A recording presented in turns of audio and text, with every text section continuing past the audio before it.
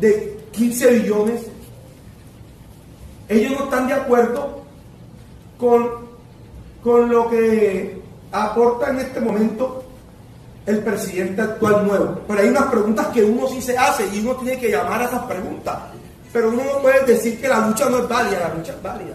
La pregunta es por qué al presidente Santos no le pasó esto. Es una pregunta que uno se hace. Entonces tú vas a unas respuestas. Claro.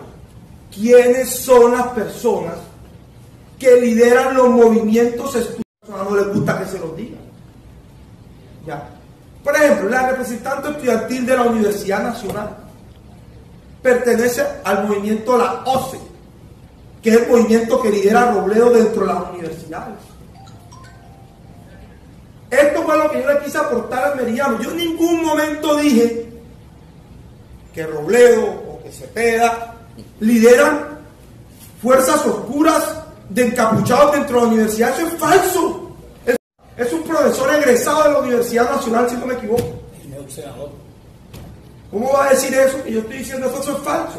Pero si es real que tienen influencia dentro de las universidades. Hace poco Pedro estaba en la Plaza de Bolívar invitando a los estudiantes que salieran a las calles y diciendo que permanecieran en la lucha. ¿Cierto? Entonces, estas son las personas que también en su momento tienen que aportar a solucionar este problema. Lo que dice el, el, el concejal Leonel ahorita, hay estudiantes que están haciendo una protesta sana. ¿Qué es una protesta sana? Hombre, eh, eh, eh, eh, hacen obras de teatro, pensamiento político, hacen cine, hacen escuelas de formación política. Claro, pero dentro de las universidades sí hay formación militar.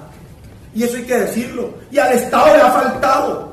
O explíquenme ustedes quién es el JM19 dentro de la Universidad de Córdoba. Explíquenmelo. Aquí firmó la paz. Yo no sé quiénes son ellos.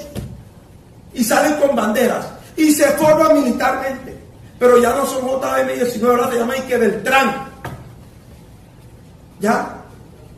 Y usted los ve cómo prepara. En Twitter sale, en Twitter sale y se vio la imagen los tipos preparando molotov con gasolina. La pregunta que uno se hace, ¿cómo hace un estudiante universitario que no tiene ni con qué almorzar para gastarse un millón de pesos en gasolina y en químicos para preparar una papa? Porque tú no puedes rastrear algo que no te puede esconder en la plata.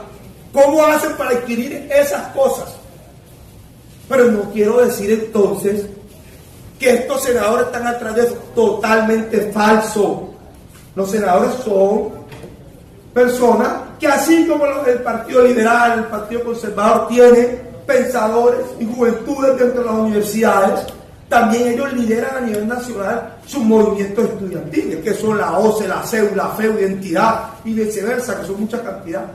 Entonces, a la formación militar que se está dando en nuestra universidad. Y si hago un llamado al gobierno nacional y al, pre, y, al, y al presidente de la República, es el que se tiene que sentar con los estudiantes. Y después de sentarse con los estudiantes, se muestran las cartas reales y que se puede llegar a un mejor acuerdo. Pero si no se sientan, créanme que el paro va a seguir, el paro va a seguir eternamente.